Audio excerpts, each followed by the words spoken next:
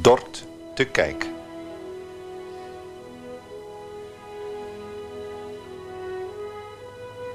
Een van de belangrijkste monumenten van onze stad is zonder twijfel de Groothoofdspoort.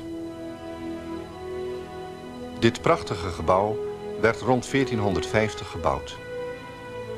Dankzij ingrijpende restauratiewerkzaamheden die plaats hadden tussen 1969 en 1975 is deze oude waterpoort bewaard gebleven. De Groothoofdspoort maakte oorspronkelijk deel uit van de stadsmuur die diende voor de verdediging van de wijnhaven. Hij was de belangrijkste toegang tot de stad, voorzien van zware deuren aan de voor- en achterzijde. Wie vroeger tot de stad toegelaten wilde worden, werd hier eerst door een wacht gecontroleerd. Alleen als het onderzoek gunstig uitviel, werden de deuren aan de stadzijde geopend. Toen het Dordrecht in de 16e eeuw behoorlijk voor de wind ging, voelden de bestuurders de behoefte hun rijkdom tot uitdrukking te brengen en gaven zij Hendrik Gilles Stierman opdracht tot de eerste belangrijke modernisering.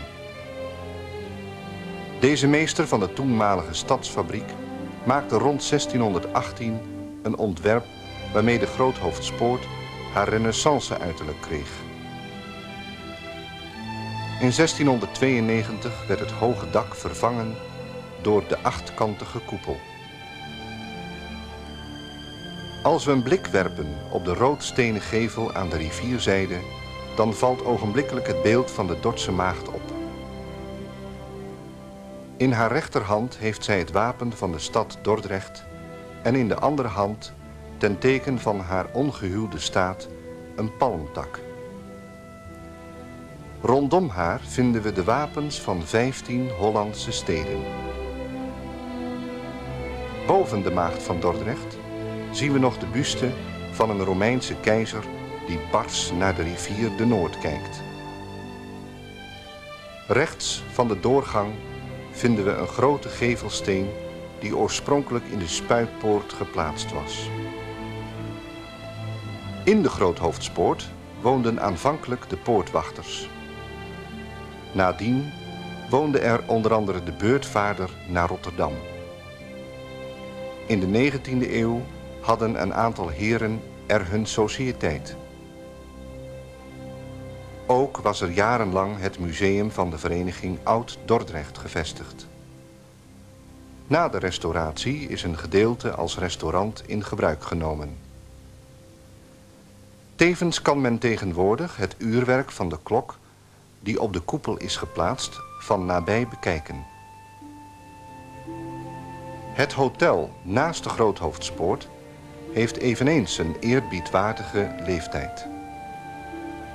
Het huidige gebouw dateert uit 1802.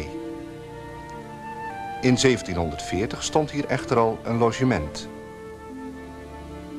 Het Groothoofd, de grote aanlegstijger van Dordrecht, gelegen aan het drukke kruispunt van waterwegen, was zo belangrijk dat tussen 1890 en 1919 een paardentram de verbinding onderhield met het station.